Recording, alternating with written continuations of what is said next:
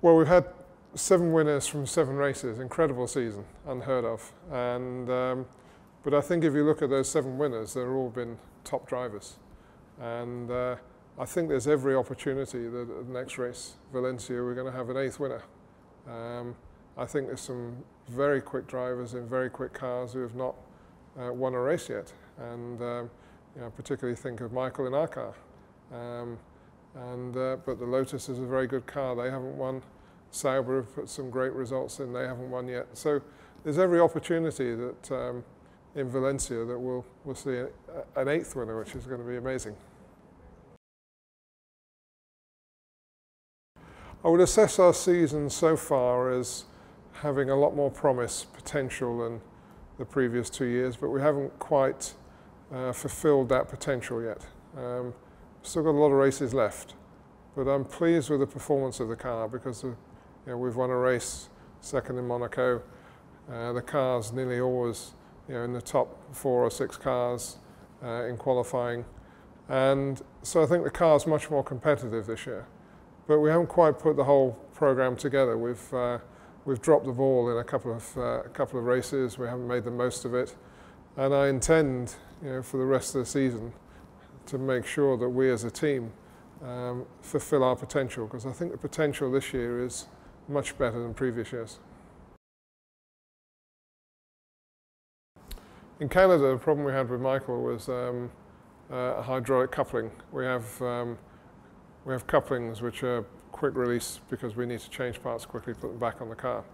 And they have a locking system, and the locking system seems to have fatigued and um, allowed the coupling to come undone. Uh, it's not a problem we've obviously seen before, and uh, we're going to change the design to make sure that uh, um, there's less likelihood of it happening. But it's a it's a very well proven part and uh, very frustrating that something such as that would uh, cause a problem.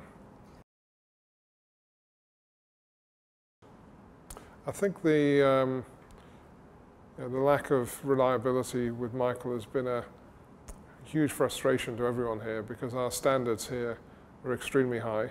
We haven't changed any of our um, procedures or approach. We haven't taken any shortcuts or we haven't let the system uh, slip in any, any way whatsoever. So it's been highly frustrating that we've had the problems. It's been peculiar uh, and one, whilst I don't believe in fate too much, it's been peculiar that we've had one car that's done every lap of every race this year. And then with Michael, we've had three or four problems. So um, we're constant, as we are with performance, we're constantly looking at how we can improve the way we work and the way we operate. And from every problem we've had, we've taken a, a lesson in how we can uh, improve, how, can, how we can do it better. I think the Pirelli tyres have been quite an, an enigma this year. Um, the understanding is definitely improving. Uh, but once you understand a problem, you've then got to find the solutions. And finding the solutions is not uh, always easy.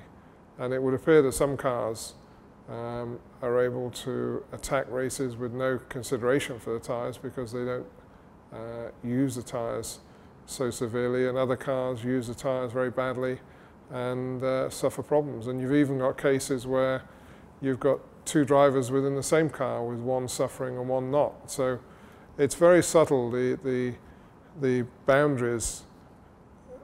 And uh, when you go over those boundaries, uh, you know, the tire's deteriorating. They're very subtle, those limits. And um, we're certainly a lot better than we were at the beginning of the year. In Australia, we had an immediate problem. And I think some ways that woke us up to the issues. And we've improved our understanding, we've improved our techniques, we've improved the technology. We have some more things on the car in Valencia which are intended to help manage the tyres more effectively.